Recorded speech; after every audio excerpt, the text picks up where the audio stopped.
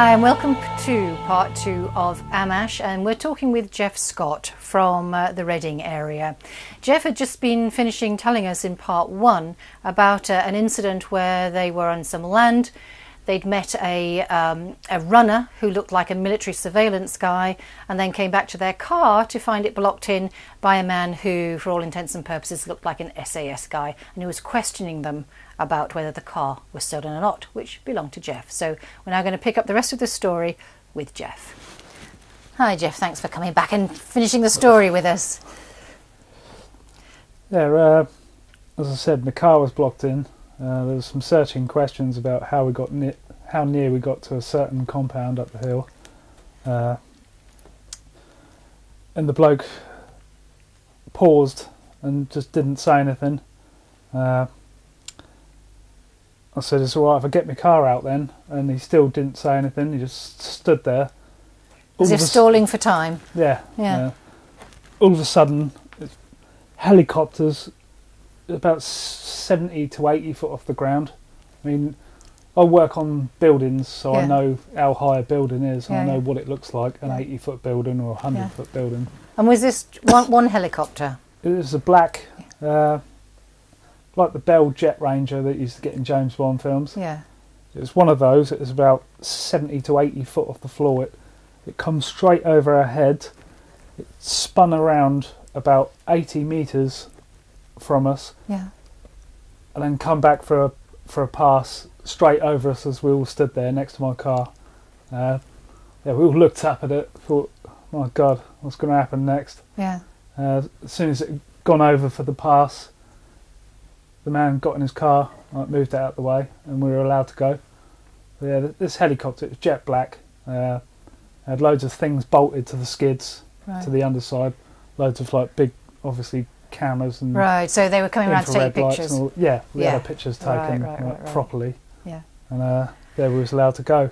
Yeah. On, so on- you so you went off, and uh, I believe you might have been followed, were you then? yeah, on the, on the way out of there, we've gone down the road about half a mile. We should have really gone straight on down this road. We were look, looking on the map at other Roman bits and pieces in the area. I said, "Hold on, let's let's go down here." Like, I think my mate was reading the map. I was driving. He said, "I was a Roman, blah blah." So we've we've stopped, gone down a side road that we wouldn't have normally have gone down. We Hmm. would have gone straight on. Uh, we've gone into this side country lane, and there, there was a bloke sat on a motorbike. He's looked totally startled that the car was coming, and he's quickly threw his crash helmet on really quickly, as if to hide his face. Mm. And as we've gone past, I said, "Look, he's doing the dodgy. He's doing the dodgy. He's, he's either hiding ten key of skag in the bush, I think was my, or he's there to follow us." And we've all laughed about it. Like, gone past him, uh, gone down the road, turned left, gone down another lane, stopped. All of a sudden, he's, he's come past us. Like he's come round the bend, expecting us to still be going, but we've stopped Yeah. By the road, See Roman ruins. Yeah. He's had to come past us and like, and I- I've seen this bloke. He was on a large motorcycle, like uh, 500, 750 or something like that. I see him again a couple of months later, oh really? uh, near to the other place I told you about, Mm. Christmas Common, and he was then sat on a small one two five with an L plate on it. And I remember he was had an open face crash helmet this time. He was just parked by the side of the road while we was mooching about in this area. I said, "That's that bloke from the other week." And yeah, he had like a Shakespearean kind of beard. Yeah. He was it's about fifty odd. Yeah, I thought it quite strange that he was on a bike with a a small one two five with an L plate on. When Mm. the other week he'd been on the big Yeah. British seven fifty or whatever Yeah. it was. Yeah, But well, that's not right. So clearly there's surveillance going yeah, on. yeah. Yeah. Uh, So I think after that, perhaps, um, and correct me if I'm wrong, the next major sort of incident happened when you were. Um, was, was did you go to Manchester first, or was there an incident after uh, before then? uh, I can't remember. can't remember anything else that stands out, but I went to work in Manchester to repair the so-called IRA bomb damage, which was probably just an in, inside job, like to Yeah. regenerate the town centre. It was probably security services planted the device in a truck or whatever it was. Uh, yeah, we Is went. a serious allegation? Do you have any evidence for that, or is it just rumour? Uh, I watched a video the other day and I thought it it, it was yeah it was alleging that sort of uh, scenario that that was an inside job, and I thought well to be quite honest I've always thought that I've always thought it uh, so So It's just they something I felt in my what heart. did they replace the old buildings with? Uh, the building I worked on was uh, I worked on the roof of the Marks and Spencers six-story building. It was like their flagship Marks and Spencers Right. store. Uh, I think it's six, six stories. We were working on the roof, doing all the cladding and glazing Yeah. To various bits of modules on the roof. It's a massive place. Hmm. Uh, yeah, when I used to work there, there, there used to be a clock tower just across from our six-story position where I was doing most of my work. There was a clock tower, and a couple of times a week, like there'd be this box in a plastic bag, like, and it would move, and it would be in different positions. And Hmm. I always used to say to my mate, "What's in the box up there?" It was like someone had put a camera in to Right. survey our position, sort of thing. hmm But yeah, I was aware of surveillance all the time. It was just normal, as I said. Yeah. It was, uh, you used to get it in three month blocks. Oh, did you? If you'd been really bad, they'd be outside your house for six months. And what do you mean by being bad? Uh, well, uh, that's to to come like a couple of years down the line. Right. Oh, Uh, okay. Okay. So it was about 1999, I think, wasn't yeah, it? it was the summer of '99, Yeah. uh, about August times. Uh, this particular week, uh, the key to my room had gone missing for 24 hours. About 24 Can I can I just can I just say just to just to backfill that that you because you'd been working away, you were staying at a at Yeah, a coach house. staying in a coach house, Yeah. which was above a pub. Yes. which right- neck of the woods was it? It was. It was in Cheetham Hill in Che- Manchester, Cheetham Hill in which is a Manchester, really rough, deprived area. yeah. Uh, But that's where you were lodging whilst you were doing this this job, yeah, and so sorry, continue. yeah. Uh, uh, Your keys had gone this- missing. The key to my room went missing uh, for about 24 hours. The proprietor of the place, I can't remember her name, uh, she, inherited the place from her father. She said keys never go missing. They Mm. never had their keys go missing from the rack, which is by the, Mm. the kitchens. Uh, you didn't get many people in this place because of the area it was in, Right. Cheetham Hill. It, Hmm. it wasn't a bustling Hmm. like, hotel or anything. It was far from it. Uh, yeah, the key went missing. My bags were searched. Uh, I noticed the, the zips had been moved on my bags. Nothing taken out of it. I used to leave my bag in the room. Uh, all it had was a mobile phone in it. Right. I never used to have my mobile phone on me in those days. Uh, yeah, my bag was obviously searched. Uh, the key had gone missing to the room. Uh, one particular night, I'll come home, um, came upstairs. We used to get free evening meals. So I've come into like the large room, which was like a banqueting room, Hmm. Uh, all set with tables, very nice, uh, to get my evening meal. Uh, on this particular occasion, usually it was completely empty. We were the only ones in there. On this particular occasion, I've come into the the room. There was two men and a woman. woman had long blonde hair. Men were quite cleanly dressed. Uh, what I noticed was quite strange. They would not look at me. I mean, most people, if someone comes into a big empty room where they are, They'd they at least glance. yeah, Yeah. absolutely. Yeah, They did normal. not. They wouldn't even glance or look at me. I found I found that very strange. Uh, sat down, at my meal, retired to my room. Uh, came to about eleven o'clock. Got bored of watching what was ever on Sky Channel. At that stage, I was in a room on my own. Uh, the bosses, obviously, in another room. Uh, I think maybe that week I was on my own. I didn't have any mates with me. I don't think. I can't remember. But I was in a room on my own. Uh, I was getting ready to turn in. There was a microwave event, is the only way I can describe it. There was this buzzing sound that lasted for about two and a half seconds. Like a burst of energy. Yeah, really. Yeah. uh, Microwave energy. Two bands come across the bottom of the television screen Mm. And they had chevrons, Chevron shaped. Yeah. chevrons inside Oh, the right. bands, Hmm. and they were going across. And whatever that energy event was, it it frightened me. I didn't know why it frightened me, but that Oh, was right. extremely uh, quite frightening. Hmm. Yeah, it was like Hmm. a, a deep buzzing sound, and it it was quite unnerving. Hmm. I thought that's not a police radio or a fire fire Yeah. brigade radio interference, and I thought nothing of it. Uh, turned the light out, turned in, telly off, turned in for the night. The next thing I consciously remember is everything being black. All I can remember is the foot of my bed, seeing the head of a woman with long blonde hair stood at the foot of my bed, and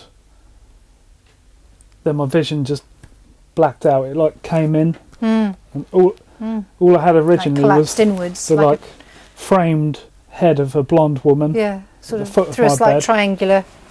and it was like quite Mm. fuzzy, but you could quite clearly see the, the long blonde hair. Hmm. My vision Was she just standing?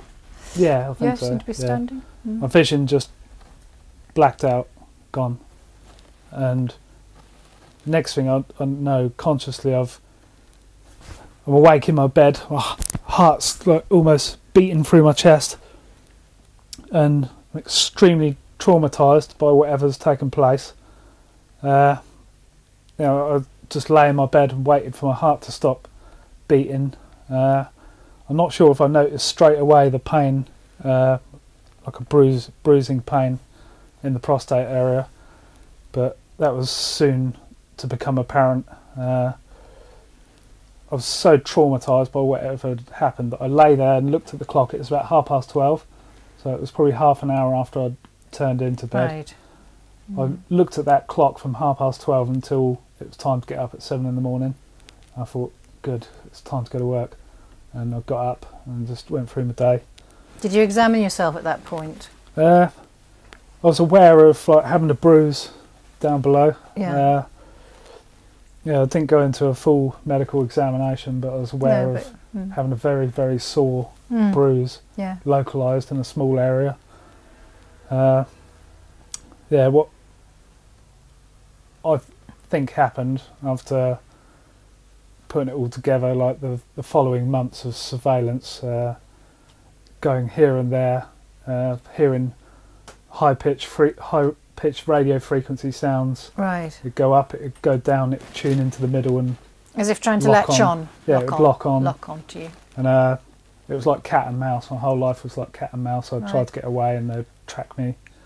Um, Can I basically, go- I've, I was Hmm. an experiment in Right. tracking chips Right. in human being beings in real time. Hang on to that thought for a second. Just want to go back to, to, to the bruising and the injury because did you say you had a, a, a triangular mark Yeah, in that neck of the woods I've as well? Since look, looked, Right, and there was like a large uh, triangular mark yeah. uh, in keeping with a large caliber hypodermic right. needle being stabbed into. Oof. So Yeah. yeah, that wasn't very nice. And And how long did it take to recover for the body to recover from that uh, assault? well, it never really has. I've still got the chip inside me as far as I know. Right. So the bruising, just like Yeah, it's just ordinary. a normal deep bruise, Yeah. would probably take a week or so Mm. to to Mm. heal. But yeah, I was used as an experiment and hounded from pillar to post. Uh, I couldn't get away. Do you know Uh, why why that may be? Why you were targeted? Well, I believed it was because I'd seen too many of these secret facilities.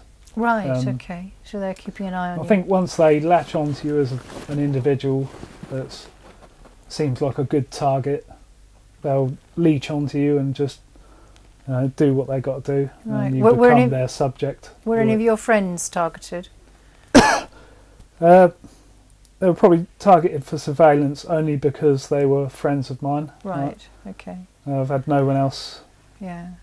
Come you- out with anything. Do you associate any of this? think they've had problems like that. Yeah. Do you associate any of this with the ET or the paranormal element Uh, at the moment? now, uh, thinking back on it, I kind of think that maybe uh, if you, you become a person of interest to other intelligences, our intelligence services will then latch onto you and Right. they want to know what's going on. And Yeah. Yeah. yeah, I believe there's probably a, a bit of that involved. Yeah. I think they probably know who you are and what you've experienced, and Hmm. yeah, they, they've heard a lot of bugged conversations, and they've heard me talk about uh, ET experiences which I've had Yeah. over the phone and probably around electronics, which Yeah. could have potentially been bugged. So and, and they've have- heard a lot of my conversations, Yeah. and I haven't really hidden nothing. And Yeah. Are you aware of any sensation or anything from the area that was targeted, or does it? It's just you're just aware because you knew of the incident that something's there, yeah, but there's no other sensation. There's no other sensations. No, goes No, with it. Yeah. The fact that in my hometown I can get away from someone that wants to chase me if I want to because it's my hometown. Mm. I would get away, but they would always track me down. They'd always. I would get on a push bike and and no one could catch me on a push bike. It's my hometown. That's where Mm. I've lived. And yeah, they they always catch up with you. And I thought, well, the only way is like having a chip inside you Right. because of the frequent radio frequency. And every time I go out on a jaunt down to Wales or something, at the time in particular, I went with one of my ex girlfriends, and yeah, I was followed up down mountains, and Really. Mm. yeah, and Mm. the amount of times I've heard the thing lock on, go Right. up, down, and lock right in the middle and lock on. Yeah. It's- So you can feel it lock on, and yeah, and so you're aware that you're being tracked. Let's say. D- Do, do you feel that it interferes with your thought processes as well, or, Uh, or, or there's any? I don't know any different, so I Right, couldn't okay. answer that. All I right. remember I- I've got a truck, a six ton Mercedes truck, and I Mhm. kitted it out as I would like my house to be. in. I aluminium foil taped the inside of it so that I could get a good night's sleep from radio frequency. Right. Uh, that that was before any of this happened, I think. Well, I slept in that. I used to sleep in that truck outside my mate's house in uh, part of South Reading. I remember one time I sl- slept in the truck, and I could hear. It was about two o'clock in the morning. There was like an obviously military light aircraft. It kept making passes over the truck at two o'clock in the morning over a civilian Mm. populated area. They don't usually do that, and I think I I thought at the time I thought they can't get a proper lock onto me because I'm inside Right. an aluminium Hmm. covered vehicle, Mm. which is obviously gonna So they knew you were in the vicinity, just couldn't yeah get the lock on. yeah. Right. This was two in the morning. It did about 20, 25, 30 passes over me. It'd Mm. go off like a few kilometres and, and come back round exactly over my truck, sort of thing, quite high. Yeah. I think it's a twin engined light aircraft, and Well, yeah, that's unusual anyway, isn't yeah, it? yeah, Yeah. Civilian aircraft are not allowed to fly over populated areas at two in the morning. Yeah. So, 25 times, it just doesn't happen. No. So That let, was obviously let's, let's go. like a- let's go on now. I think we're um, getting chronologically to, to that point where you had some some um, altercation at a at a I don't know, it's a club. I don't know if it's a boxing club again or It where, uh, where where exactly it was, but it was a, a In- squat party in a squatted building right, in, okay, London, yes, uh, which I used to love going to them for the music. I love drum bass. Uh, yeah, the height of th- that's it. Uh, a week after, it was about five days after September the 11th, and the Americans right, uh, buildings got turned to dust. Uh, the girl, my girlfriend at, at the time, Rachel, uh, she used to live in South Ruislip, West London. She was a Oh, photography Mhm. student, mhm. and she was down in Reading, staying with me for the weekend, and we went out into the countryside. And the nicest bits of countryside I know are right in the vicinity of all these uh, facilities or alleged facilities. There's one particular place where there's a nice yew forest up Mhm. this dead end road, but on the way down this dead end road, there's there's like a. It looks. It's meant to look like a reservoir in the middle of a field. It's huge. It's just this big field. If you can imagine a field that's like a, a low sloping, the whole field right, is sort of like like a with a, a lump on the top that's about forty foot square with little tiny little railings round it. Hmm. And now they've got a couple of like little antennas there, sort of thing. It's meant to be like, for all intensive purposes, look like a reservoir, a water reservoir. Oh, I see. Yeah. My yeah. friend grew up in that area from the, in the seventies, and all the locals knew that was like a, an underground command bunker Right. in this field. It's all got Right. food down there and all sorts. Okay. It was like an emergency command bunker, Yeah. and everyone's supposed to have forgotten about this sort of Mm. thing. But my mate told me, he said, "Oh yeah, that place." He said, "I grew up around there. I used to go Mm. motorcycling in the area.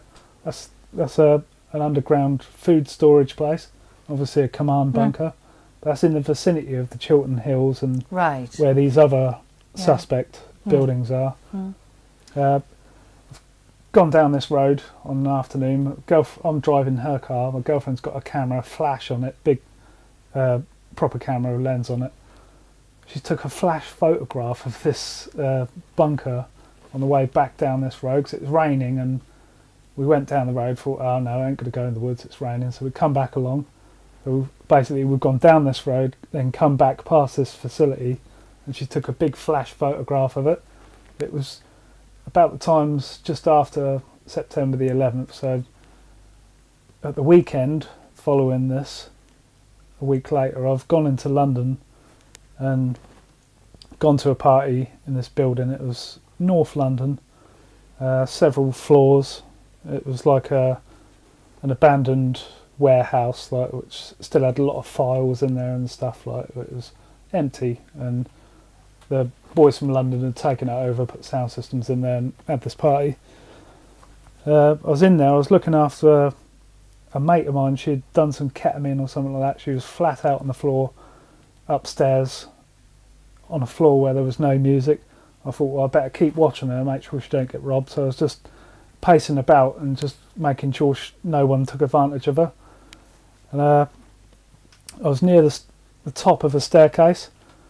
The next thing I knew, I remember seeing like a small red light. It was probably a targeting laser, and and bang, like this flash, like took out my eyes, and I sort of struggled to see. And I've looked, and I see this Middle Eastern man put something into a brown paper shopping bag, and proceed to run away down the stairs away from me Oh, right.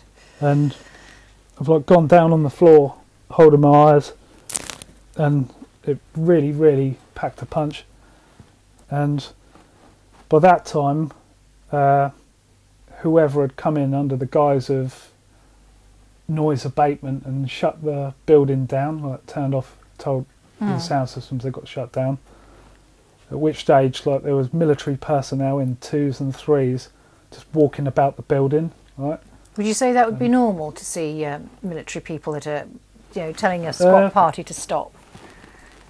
usually MI5 come in and people usually sniff them out and say, "There's a spy over there. Look at him." And Why would you think MI5 would be in?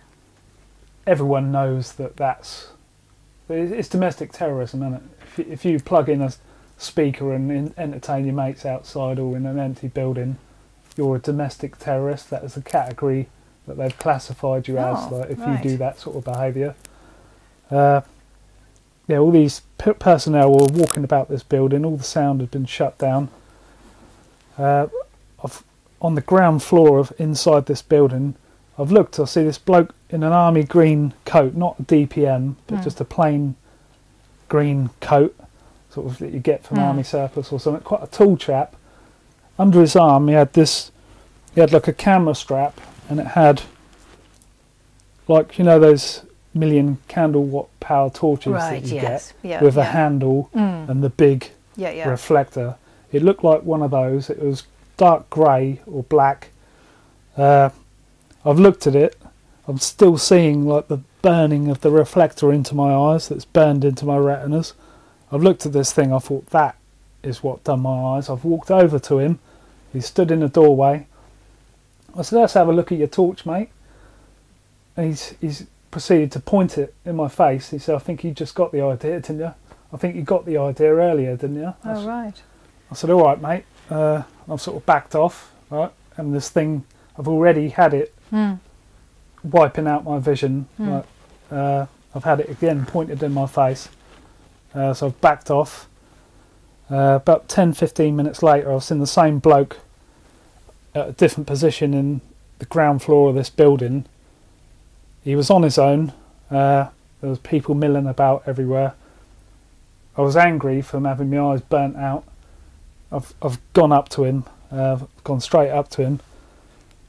I said again, let's have a look at your torch, mate. And of this time, I've just grabbed it from under his arm, Yeah. grabbed hold of the handle, and started to look at it while the strap's still round his shoulder.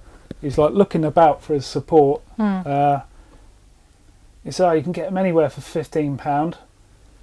I've looked at it. I thought, Fifteen pound. This looks like several thousand pounds worth of Hmm. like assault Yeah. uh, strobe gun. And whilst I'm looking at it, and it's the straps around his shoulder, I've pressed the trigger, and I just see the strobe effect Yeah. off of his eyeballs, and uh, I was let go of it. And he said, "You didn't have to do that." And I said, "Well, you done it to me, so I've done it to you." And I've walked away. Uh, I've left the party. Uh, I've drove down the M4. I was aware of like a Land Rover weaving in and out of traffic to follow me Hmm. down the M4, and that was the start of six months surveillance. Uh, they they, uh, they really didn't like that. Uh, the fact that I'd taken one of their weapons Hmm. out of their hands and used it on them innocently. Like, man told me it was a fifteen pound torch. Like, And do you think Uh, that this surveillance perhaps had anything to do with your girlfriend taking a, a picture of the it was installation? directly a result You of think it's directly taking a picture of that Right. facility. Okay, It was a warning not to Yeah. take pictures of things that you shouldn't. right. It was And- like you've seen too much now. We're going to burn your eyes out. Hmm. And I might add, it took a year for the burns on my eyes to heal. For the next fortnight after it happened, it was like having a toothache in each eyeball. Hmm. It was horrific. I spent a couple of years thinking I was going to go blind. Right. Uh, I went to an optician and he said, "Well, you've just had like a massive amount of light put in your eyes. When you're older, you might get cataracts a little bit earlier than what you would have Hmm. if you're going to get it anyway." Hmm. Oh, lovely. So, yeah, but a year for the burns to heal. yeah. it's not a nice weapon. I've No. I've heard it wasn't something like that used on Henri Paul like by someone un, in the underpass. Like uh, I heard reference to a strobe flash gun that was used. That's true. No, I've- actually, I've heard. Yeah, that's Well, right. just, I've just there is- heard- there is talk that the um, cruise control was remotely operated and set to full speed, and uh, that's one way of steering it. Hmm. But Uh, where the car hit is an energy line that goes underneath the Eiffel Tower and into the assembled buildings there.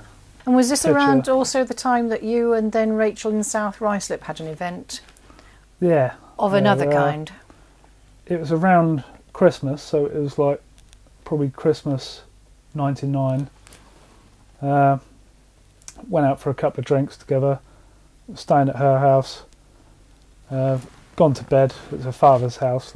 Gone to bed, crashed out. Uh, woke up exactly the same time as each other. Both sat up in bed exactly the same time.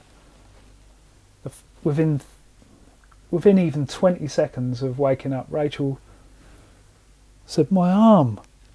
Looked straight at uh, uh, upper left arm. There was like three needle marks in a triangle, triangular Mm, yeah. formation, like Right. about six mil across. Mm. Three needle marks, and you could see they were blatantly needle marks. Yeah. Uh, and I've looked at her arm. So I've got, she's, I think she said you got nosebleed, and like, I blood streamed down my face, and I had to get up and go and Mm. get some tissue. So yeah, within a minute of waking up, like she's noticed like three holes in her arm, and Yeah. all of a sudden I've had a, instantly had a nosebleed, Yeah. which that was at the height of the surveillance. So Right. I can't help thinking there's some sort of, if not collusion, between intelligence services and ETs, Hmm.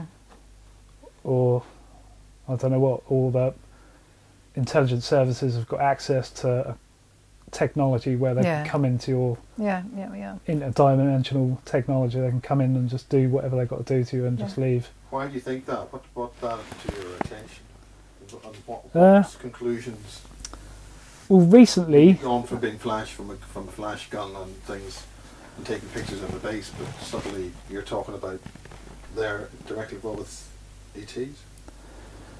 well, the fact that she had free, blatantly free needle marks on her, and I had, suddenly had a nosebleed, means that something's gone on. Now, her, f- we were in her father's house. No one's broke in, and But why connect that with ETs? Why not just surveillance people coming in when you're asleep? uh, What's the thing that makes you think that E ET? it's it's just that most people that have problems in the area of their nose usually have had problems with extraterrestrials, like namely greys, putting implants up their nostrils. Military abductions. I've heard of that phenomenon. Yeah, yeah, yeah. I believe that is well. Just how do you make the jump to ETs? It's. I've heard so many people, uh, people that have had abduction experiences, uh, talk of having nose implants, and that just like rings to me that, you know, someone's.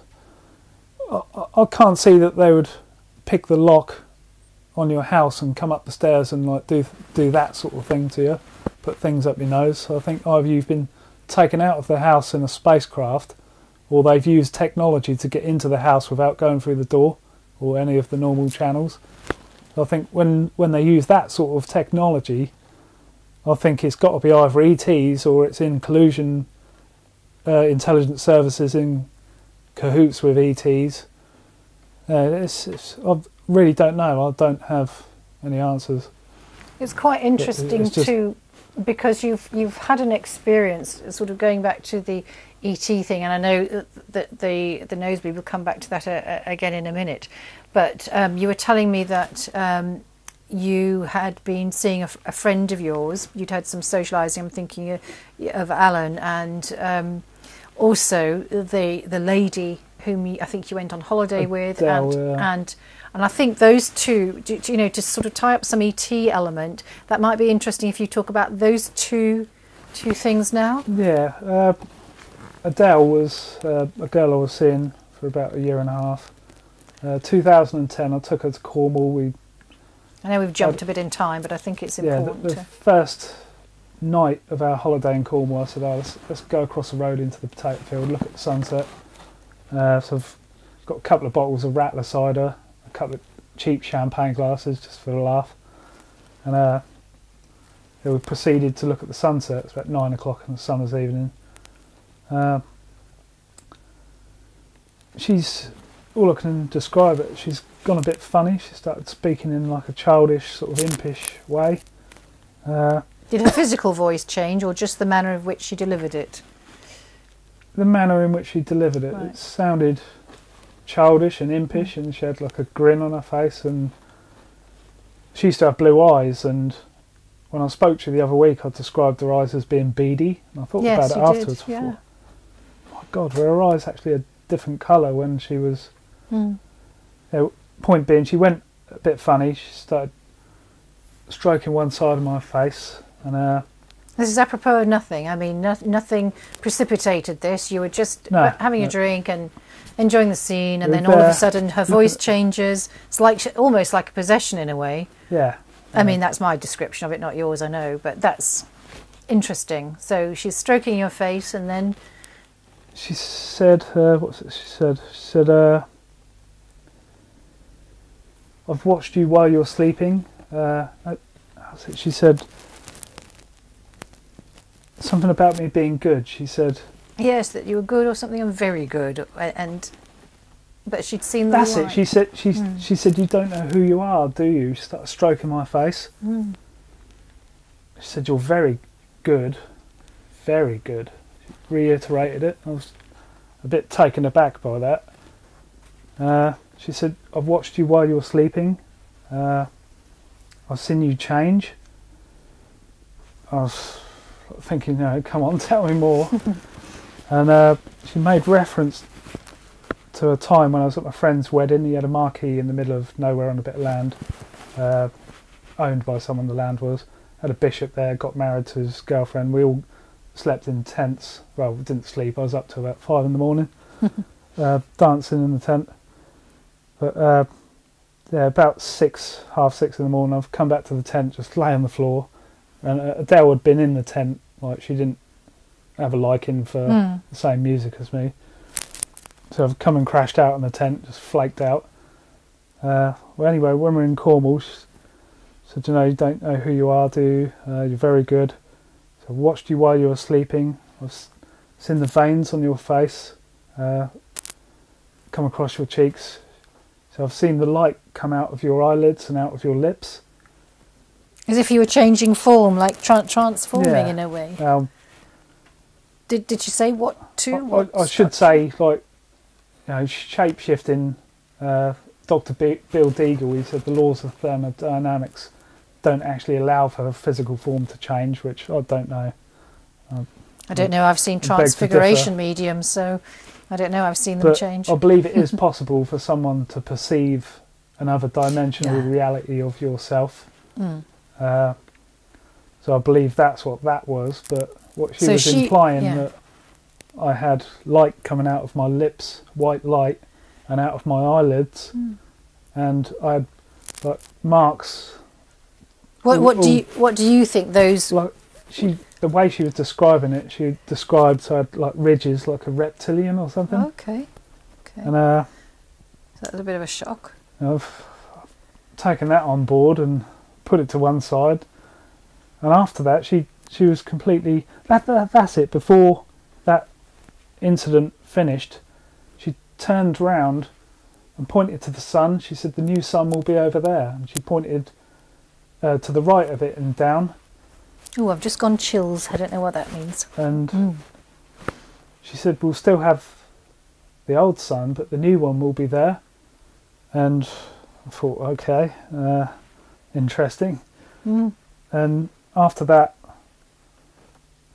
it's, it's sort of the situation's dissipated we've drunk our ciders and gone back to the campsite And has she come back to normal? Has she returned? normal like Voice perfectly normal, and yeah yeah And she did- perfectly normal even finishing the drinks like finishing the sunset oh let's let's go back to the tent then. so she seemed unaware of Yeah, of yeah. what that transformation she'd been through. Also, uh, three, three weeks later I asked her I approached the subject I said do you remember that when we was in Cornwall Hmm. And you told me you'd watch me when I was sleeping and you seen me change.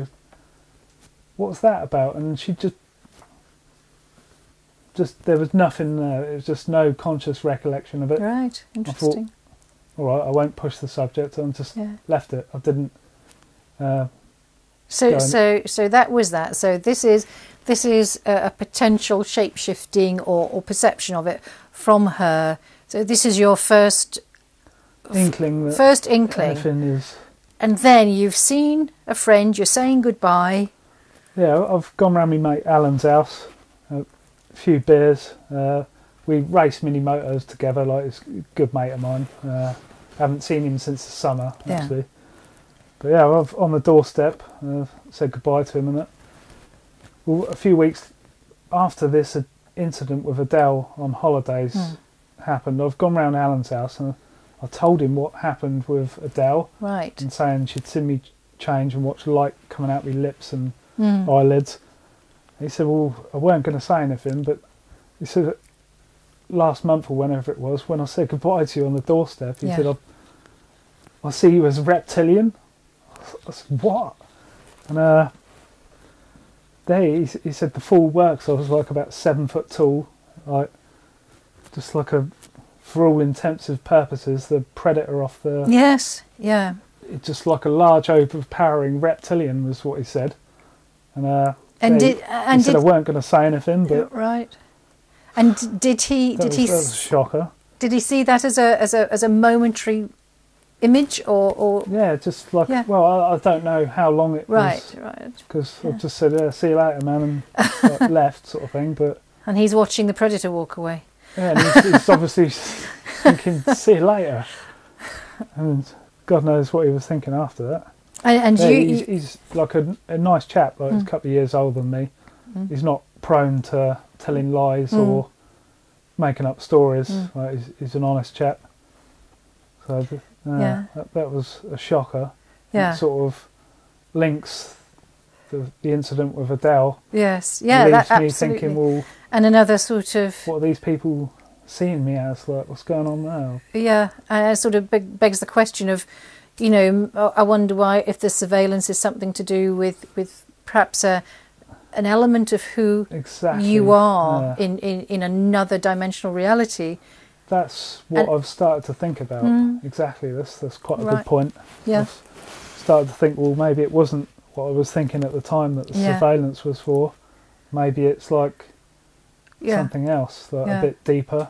yes, Because honestly, they, they spent hundreds of thousands of pounds on my surveillance, yeah, 24 hours a day, for years. Like even now, my phone, every phone I get, they will find out what the number is and bug it.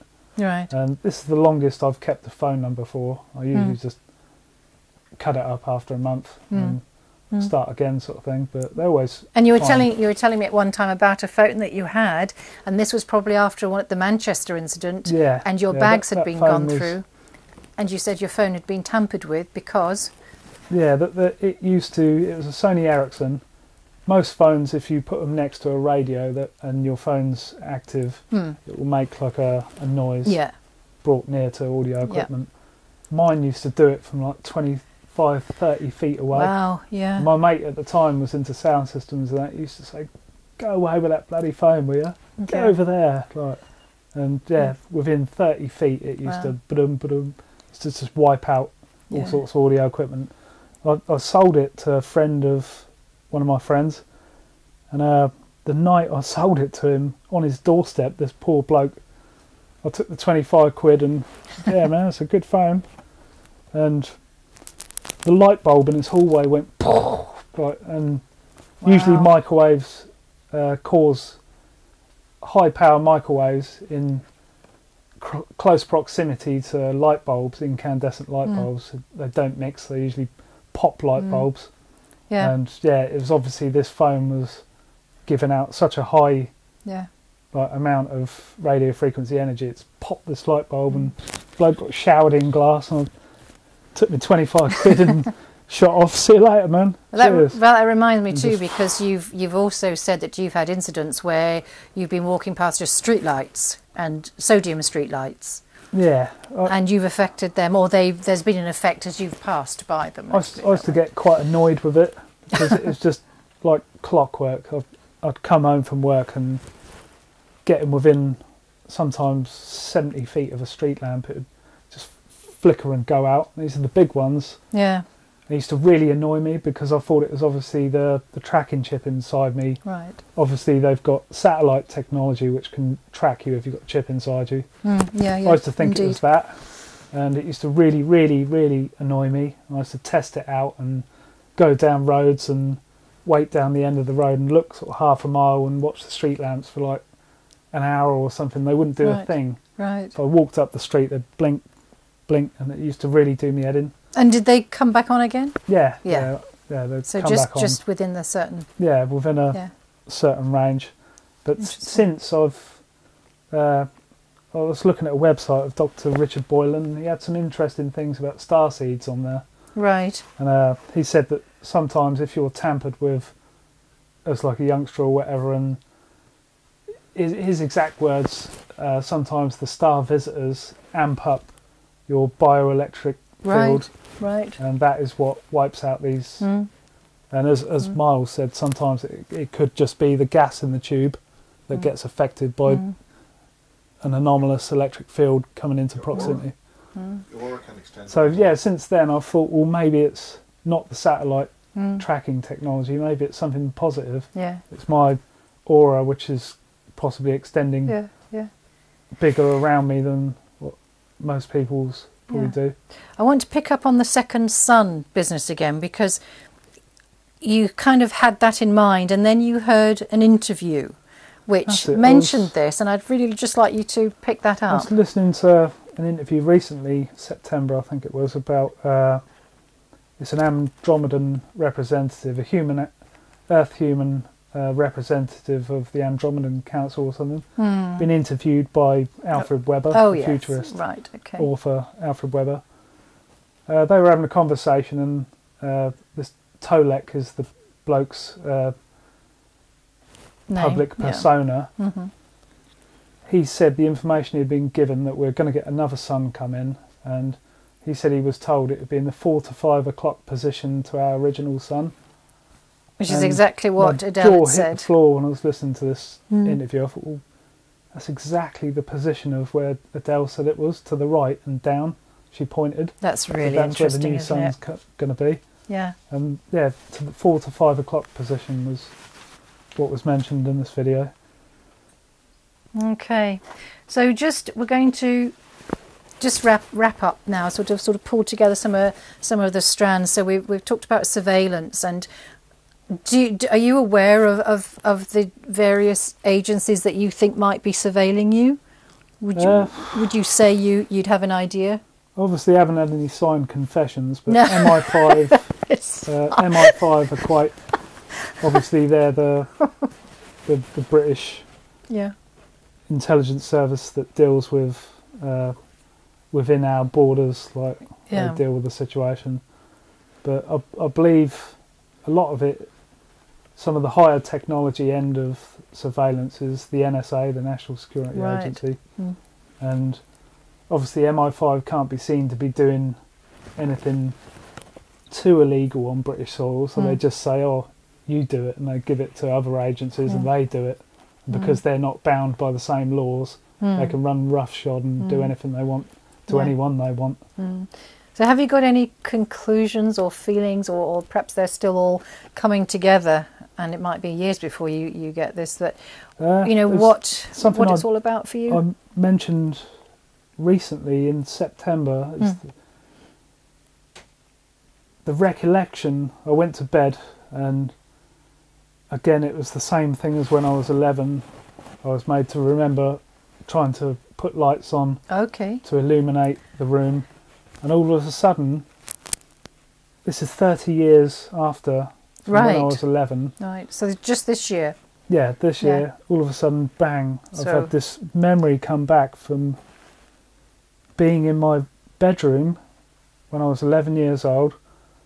I was in the, the corner of the room nearest where my stereo was. I was kneeling on the floor, uh, carpeted floor. It's quite a large room in the back of the school because we used to live inside the school, Right. Yeah. uh, this old building, as I Mm. said. Mm.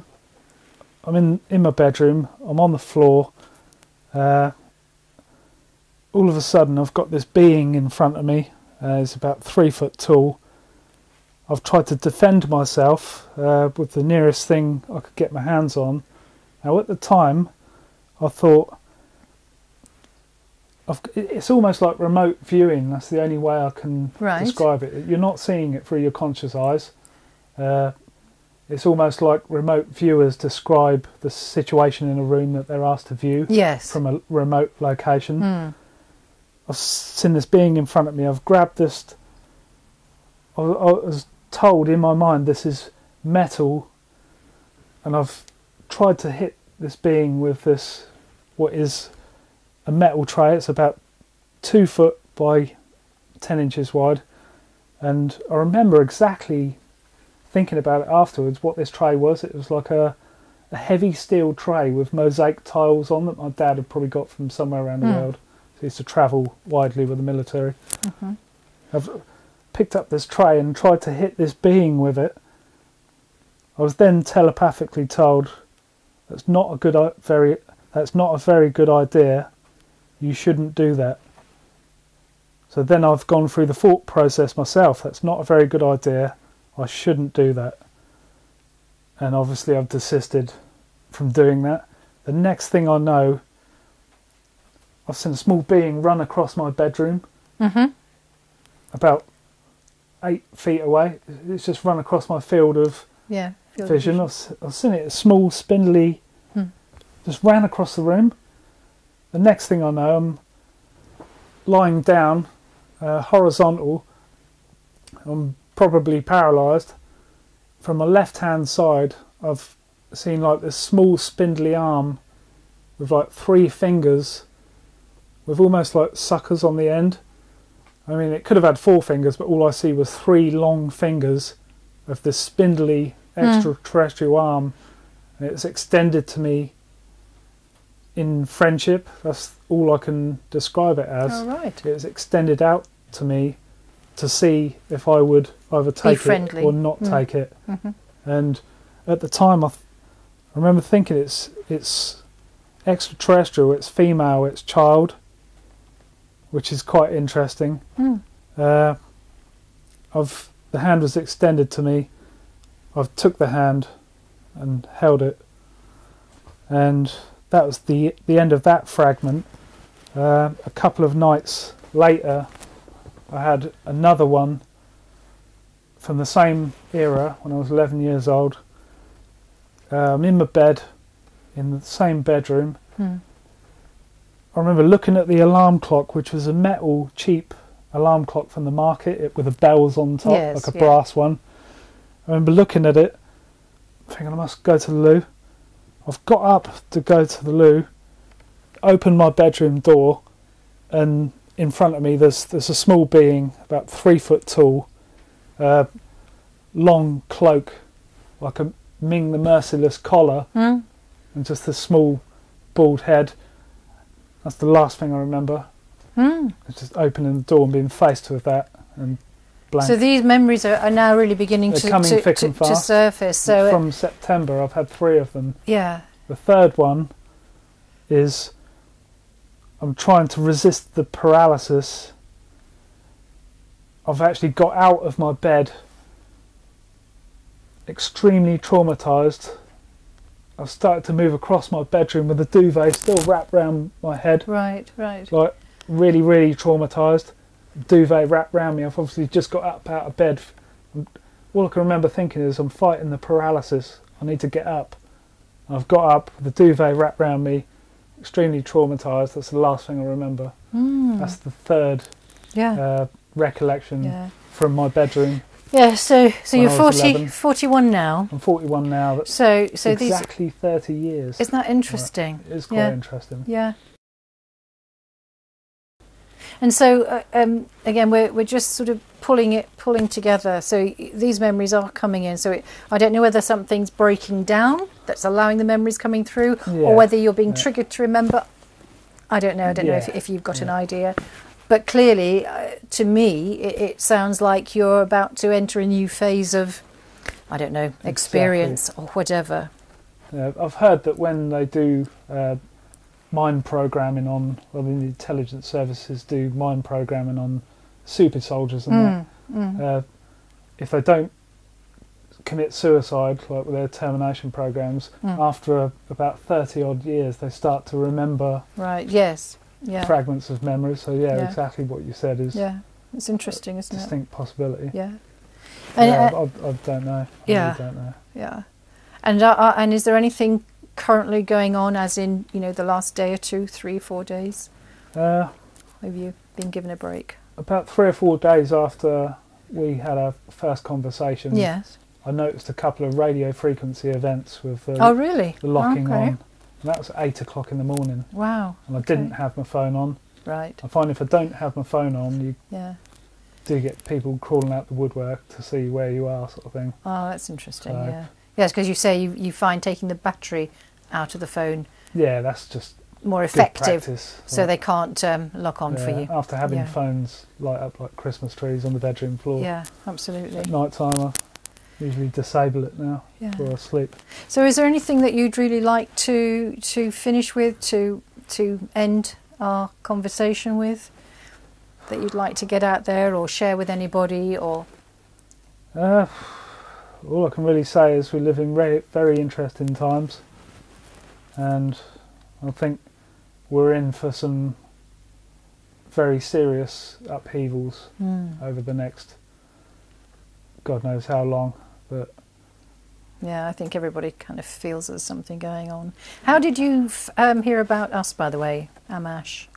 uh, I, I think I was looking at uh, some abduction stories Okay, of people on YouTube. right. Do trawl through quite a lot of Mm, info on YouTube. I find it quite a good channel for okay. bits and pieces of info. Mm. yeah, that's where I first come across your Right. interviews, and yeah, the abduction theme does strike a chord with me, obviously. Yeah, And I'm, Yeah. I'm still finding out things about myself. yeah. Uh, And also the surveillance and harassment that you've had. I know that there's quite a bit of harassment. We just haven't been able to to fit in, but uh, I could write books on it. Uh, Yeah. the- yeah. Again, Yeah. perhaps, perhaps something you you could do, um, you know, is update us. You know, and if you were I able to keep some kind of a little, not even a journal, but a bullet point of events or something, it would, you know, we did a little catch up at some point, which we do. Perhaps come to a meeting, Yeah, give us a catch up or something. I think things will be changing thick and fast. Yeah. So Do you feel better for having spoken? Uh, I do feel better for. I know you were really nervous at first, weren't you? You Yeah. were really, really Yeah, a, a bit anxious. Uh, it's been 11 years or whatever, and I've not had anyone to talk to about uh, the experiences which Yeah. I've been put through. Yeah, And it's it is nice to finally get it off your chest to Yeah. someone that knows, yeah, uh, has got a good idea of yeah, the kind of things that I've had to deal with. yeah. So yeah, I thank you for providing the forum to Oh, you're welcome. You're welcome. to get these things out. Yeah, But, yeah, people should know that uh, there is a lot of things going on behind the scenes, and yeah. life is not all merry and what it jangly says. like people think it is. There's Mm, quite a lot of dark manoeuvres going on behind the scenes, mm. but there are also a lot of good manoeuvres yeah, that I would like to see come to fruition. yeah. And do you think you've grown through your experiences? You- In a bit, you know, you've benefited overall yeah, from them. what they, they they say what doesn't kill you makes you stronger. So All right. Well, I on believe that, I'm quite strong. well, on that note, I just want to say thank you again for having the courage to share, because I I know it took quite a lot for you to do it, and um, Thank you. know to to again give courage to others to to come forward and share their stories, and um, to say keep us up to date. Yeah. And um, thanks very much. Really appreciate it. Thanks, Jeff Scott. Thank you both. Thank you. Thank you. Thanks. This is Ammach, and we're saying goodbye to Jeff Scott, and thanks to Miles again. And we're on 0795 1752 813 is our hotline. And otherwise, you can email us at ammach at hotmail.co.uk, and our website is www.ammach.co.uk. Thanks for watching. See you again.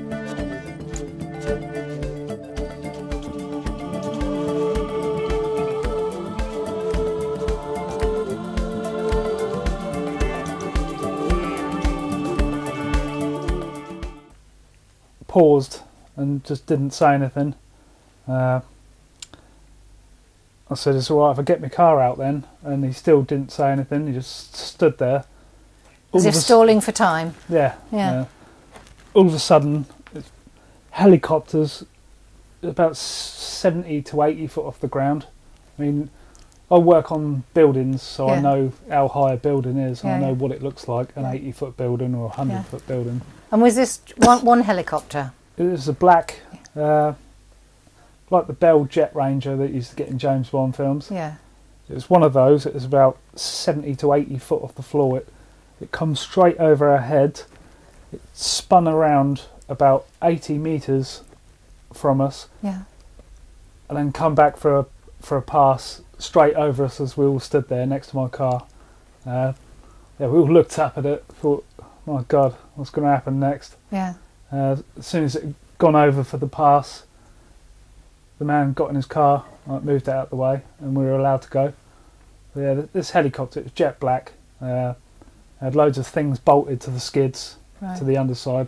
Loads of like big, obviously cameras and right. So they were coming around to take pictures. all. Yeah, we Yeah. had our pictures taken right, like, right, right. properly, Yeah. and uh, yeah, we was allowed to go. Yeah. On, so on- you so you went off, and uh, I believe you might have been followed, were you then? yeah, on the, on the way out of there, we've gone down the road about half a mile. We should have really gone straight on down this road. We were look, looking on the map at other Roman bits and pieces in the area. I said, "Hold on, let's let's go down here." Like, I think my mate was reading the map. I was driving. He said, "I was a Roman blah blah." So we've we stopped, gone down a side road that we wouldn't have normally have gone down. We Hmm. would have gone straight on. Uh, we've gone into this side country lane and there, there was a bloke sat on a motorbike. He's looked totally startled that the car was coming, and he's quickly threw his crash helmet on really quickly, as if to hide his face. Mm. And as we've gone past, I said, "Look, he's doing the dodgy. He's doing the dodgy. He's, he's either hiding ten key of skag in the bush, I think was my, or he's there to follow us." And we've all laughed about it. Like, gone past him, uh, gone down the road, turned left, gone down another lane, stopped. All of a sudden, he's, he's come past us. Like he's come round the bend, expecting us to still be going, but we've stopped Yeah. By the road, See he's- Roman ruins. Yeah. He's had to come past us and like, and I- I've seen this bloke. He was on a large motorcycle, like uh, 500, 750 or something like that.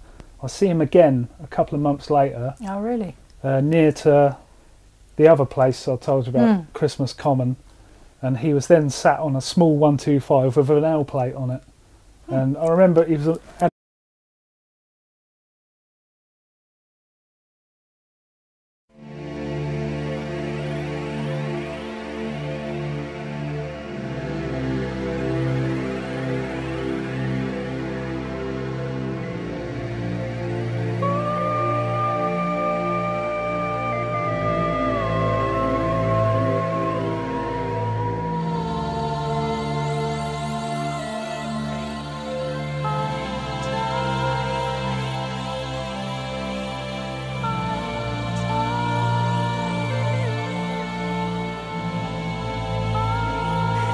Hi, and welcome to part two of Ammach, and we're talking with Jeff Scott from uh, the Reading area.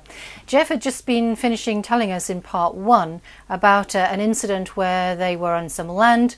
They'd met a, um, a runner who looked like a military surveillance guy, and then came back to their car to find it blocked in by a man who, for all intents and purposes, looked like an SAS guy, and who was questioning them about whether the car was stolen or not, which belonged to Jeff. So we're now going to pick up the rest of the story with Jeff.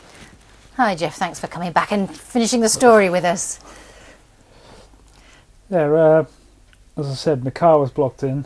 Uh, there was some searching questions about how we got ne- how near we got to a certain compound up the hill. Uh, and the bloke had an open face crash helmet this time. He was just parked by the side of the road while we was mooching about in this area. I said, "That's that bloke from the other week."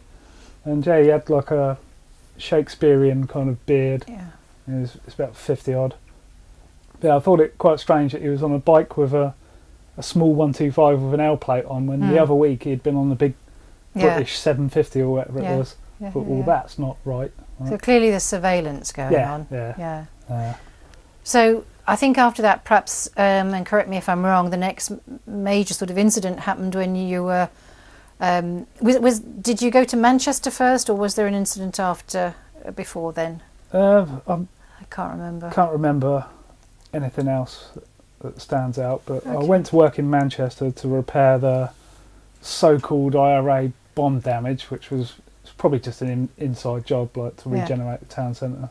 It was probably security services planted the device in a truck or whatever it was. Uh, yeah, we It's went. a serious allegation. Do you have any evidence for that, or is it just rumour? Uh, I watched a video the other day and I thought it it, it was yeah it was alleging that sort of uh, scenario that that was an inside job, and I thought well to be quite honest I've always thought that I've always thought it. Uh, so So what It's just they something I felt in my what heart. did they replace the old buildings with? Uh, the building I worked on was uh, I worked on the roof of the Marks and Spencers six-story building. It was like their flagship Marks and Spencers Right. store. Hmm. Uh, I think it was six, six stories.